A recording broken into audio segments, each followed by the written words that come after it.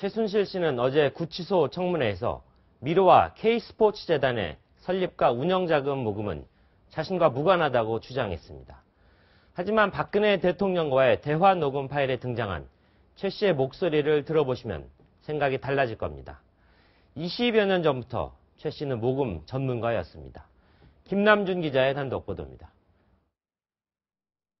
미르와 K스포츠 재단을 설립하면서 대기업들을 상대로 강제 모금을 주도한 혐의로 재판을 받고 있는 최순실 씨.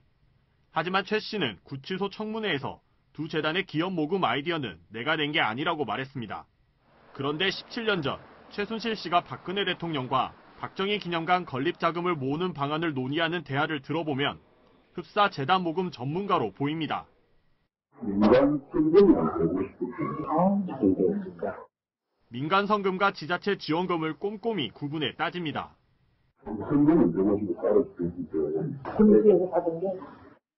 박정희 기념관이 수도권에 건립되면 구미시와 경상북도가 예산 지원을 철회할 수도 있다는 보고에 예민하게 반응합니다.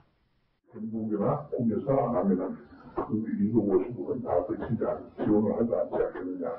목적으로 해가지고 그 군대에서 그걸 처리한다는 건 말이야. 그건 말이야. 있을 수도 없는. 박 대통령이 구체성이 떨어지는 방안을 얘기하자 최순실 씨는 자신의 생각을 밀어붙입니다. 제가 그런 공개생과는 그 예산 회전되는 대로 아까 주신 대로 미르와 K스포츠 재단 자금 모금에 관여하지 않았다는 최순실 씨의 주장을 믿기 어려운 이유입니다. 채널A 뉴스 김남준입니다.